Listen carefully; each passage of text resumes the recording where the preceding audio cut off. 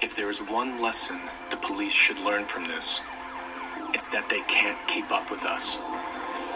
Officer McManus pushed his limit, but ours was further. They say we endanger the public, but they are the ones who aren't in control. But they don't want the truth. They want revenge for a crime that was never committed. The police were our rivals. Now, they are our enemies. There is no second place.